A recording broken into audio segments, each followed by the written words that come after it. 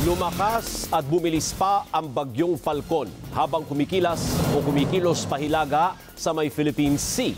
Ayon sa pag-asa, ang sentro ng bagyo ay huling namataan sa layong 1,170 kilometers sa silangan ng extreme northern Luzon. Taglay nito ang lakas ng hangin abot sa 110 kilometro malapit sa gitna at pagbugso maabot sa 135 kilometers per hour.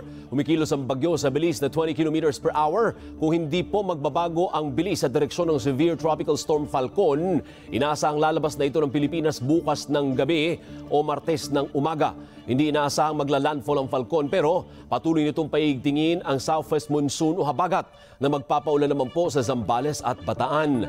Makararanas na manakanakang pag-ulan ang Metro Manila, Pangasinan, Tarlac, Pampanga, Bulacan, Cavite, Batangas, Occidental Mindoro at Northern Palawan, kabilang ang Calamian at Cuyo Islands. Sa Bicol Region at Northern Samar, magiging maulap magiging maulap ang papawirin at may kalat-kalat na pag-ulan at thunderstorms dahil naman po sa trough o yung buntot ng bagyong Falcon. Cloudy sky sa may kalat-kalat na pag-ulan din na mararanasan sa natitirang bahagi ng Luzon at Visayas habang iba pang bahagi ng bansa ay makararanas naman ng makulimlim na kalangitan at manakanakang pag-ulan.